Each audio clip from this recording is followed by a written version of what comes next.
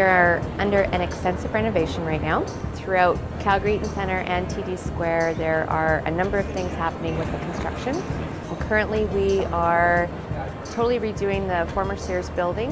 Holt Renfrew will be taking that over in August of 09. Another feature that we're doing is expanding the corridors in between the two shopping centers. So basically, the mall will seem seamless and you'll be able to look from Harry Rosen towards Holt Renfrew and it'll be a nice open viewing area and there's going to be an expanded common area space for the shoppers to walk in and enjoy.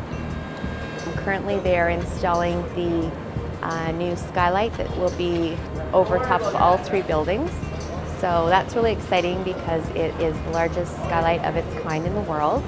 It will cover the entire three city blocks and it's going to totally open up the center and provide lots of nice natural lighting for everyone to shop in. We are still open for business throughout the whole construction.